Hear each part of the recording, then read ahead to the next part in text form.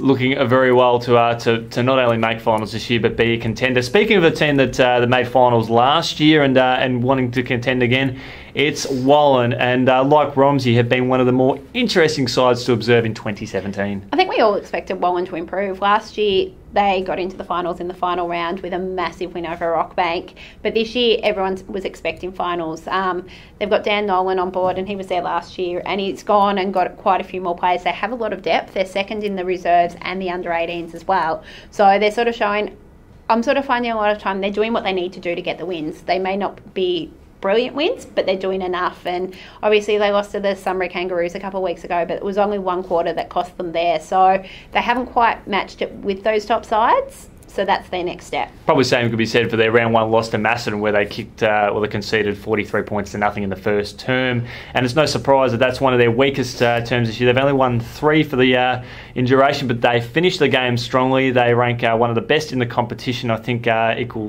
well, at least second uh, with six out of seven.